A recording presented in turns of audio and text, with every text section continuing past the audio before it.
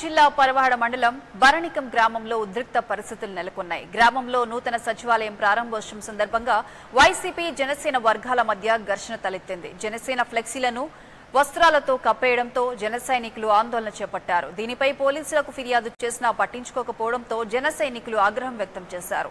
పోలీసులకు వ్యతిరేకంగా నినాదాలు చేశారు.